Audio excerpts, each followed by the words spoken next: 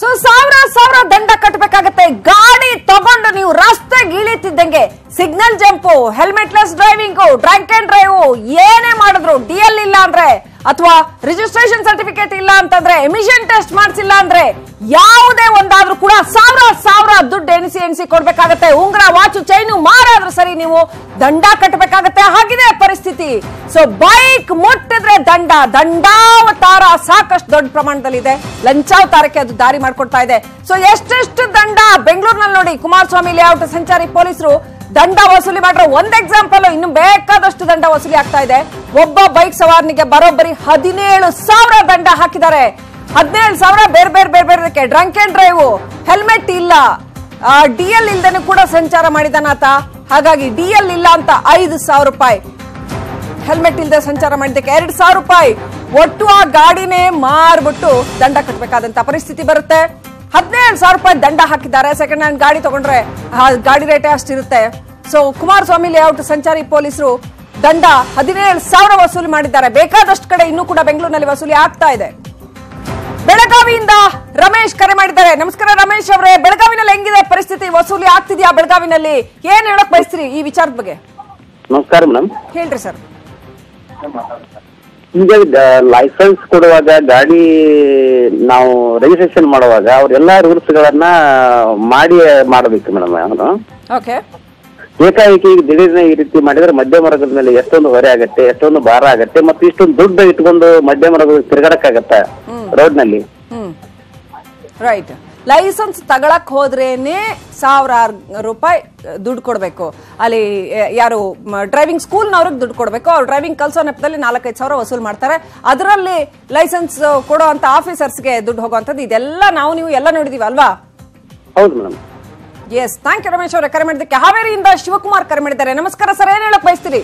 ನಮಸ್ಕಾರ ಮೇಡಮ್ ಅವ್ರ. ಇಲ್ಲಿ ನಮ್ ಕಡೆ ತಳಮಟ್ಟದಿಂದ ಪ್ರಾಬ್ಲಮ್ ಐತಿ ಮೇಡಮ್. ನಾವು ಲೈಸೆನ್ಸ್ ಮಾಡ್ಸಕ್ಕೂ ದುಡ್ಡು ಸೈಡ್ ಆಗಿ ಹೋದ್ರೆ ಹಾ. ಕೊಡ್ಬೇಕಾಗತ್ತೆ. ಆಮೇಲೆ ಅಲ್ಲಿಗೆ ನಾವು ಟ್ರಯಲ್ ಹೊಡುವಾಗ ನಮ್ಮನ್ನ ಲೆಸ್ ಮಾಡ್ತಾರ?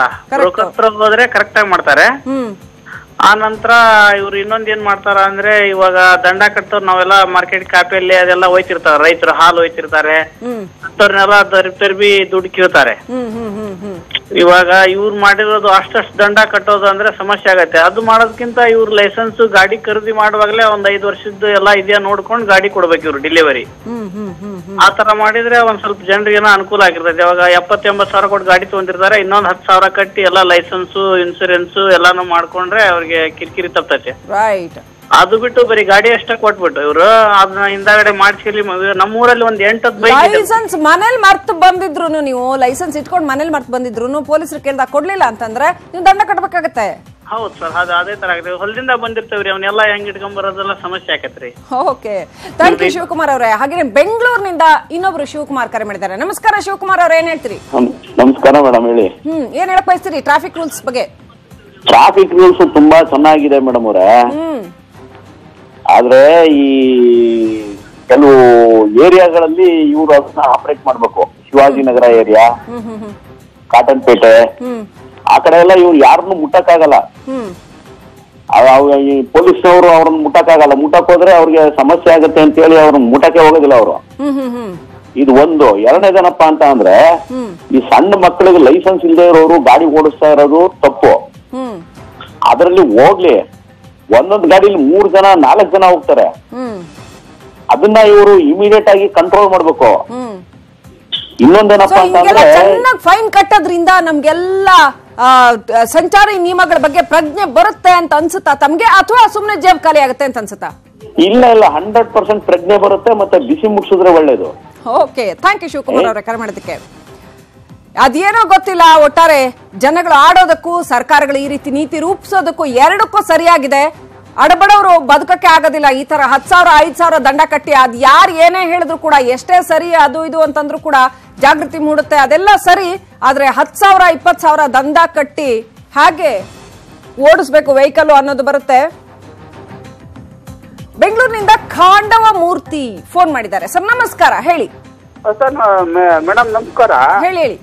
ಈ ಟ್ರಾಫಿಕ್ನವ್ರಿಗೆ ಇಷ್ಟೊಂದರ ಅಮೌಂಟ್ ಎಲ್ಲ ನೀವು ಕೊಟ್ಟಿದ್ದೀರಲ್ಲ ಇಷ್ಟೊಂದು ಅಮೌಂಟ್ ಅವ್ರು ಕಲೆಕ್ಟ್ ಮಾಡೋದ್ರಿಂದ ಒಬ್ಬ ಪೊಲೀಸ್ನವ್ರಿಗೆ ಸಂಬಳ ಕೊಡೋದೇ ವೇಸ್ಟ್ ಅಲ್ವಾ? ಗೌರ್ಮೆಂಟ್ ಸರ್ಕಾರ ಏನಕ್ಕೆ ಸಂಬಳ ಕೊಡ್ಬೇಕು ಅವ್ರಿಗೆ?